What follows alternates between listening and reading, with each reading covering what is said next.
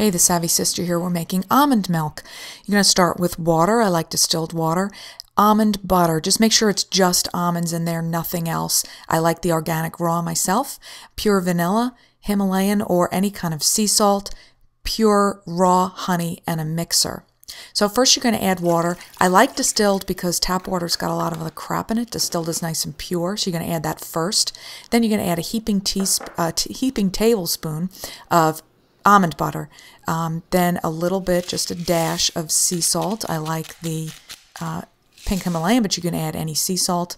About a quarter of a teaspoon of pure vanilla, organic or not is fine. Make sure this is raw honey. If you want to use local honey, that helps with allergies if you have allergies, but make sure this is raw honey that it hasn't been heated. Mix well for about 30 seconds on any kind of mixer. I'm using a Ninja here, a little baby Ninja, but you can use a bullet. There it is. It's beautiful. It's delicious.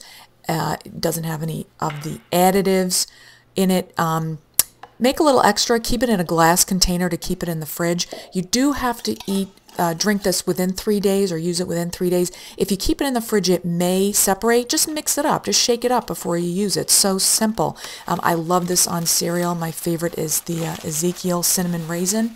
It's got sprouted grains, uh, but you can use this milk any way you want. You can use it in um, cooking. You can use it just drinking it plain.